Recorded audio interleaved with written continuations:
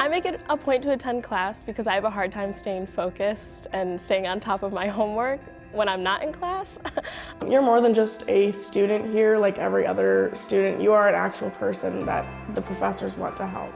There are countless number of people that are rooting for you. It's easy to wonder that in such a big class, professor might not know everyone individually, but trust me, they know. That are supporting you, that want you to succeed.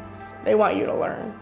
By routinely attending class, that's a giant indicator of your grade is how often you go to class. It also allows them to build that relationship with their instructors so that they feel comfortable asking for help if they ever feel like they're falling behind in the class content. Staying focused during the class time is not always easy.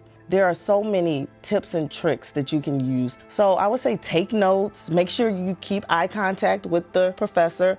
And they also understand that college is hard sometimes. They're willing to do anything that it takes to explain and help students understand. That means that I need to be working to make sure I'm meeting students where they're at in their learning. Being in the room with a professor holds me accountable. We care about the content, we're experts in it, so our favorite thing to do is talk about it more. That, that passion of interest that the professor has towards the content just might wear off on you. So when you, as a student, put in the effort, it definitely reflects uh, a lot about your character and your work ethic and uh, helps you stand out in the crowd. There's a lot of benefits to forming a community while you're at NIU.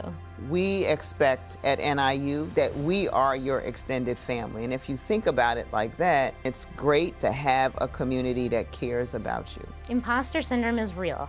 As a student, you don't always feel like you should be here in college, that you might not be smart enough. Um, we've all experienced it, we've all felt it before. That's what you call imposter syndrome. By going to class on a regular basis, keep attending class, that imposter syndrome will disappear very quickly because you belong here.